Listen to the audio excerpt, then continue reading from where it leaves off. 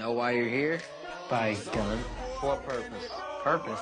Scare my fucking brother who's being a complete and total douchebag. Wrong answer, son. Next! Yes? I need to buy a gun for protection. In case there's a shooting here, I'm scared. Then let me soothe your nerves. Wow. Mr. Gallagher, I'd like a word with you in my office. Students talk. Heard you're selling weapons, son. I want a Glock. Excuse me, Carl Gallagher. Yeah? I need a word. Do I know you? No.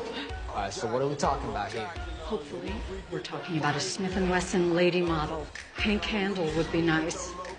I have cat.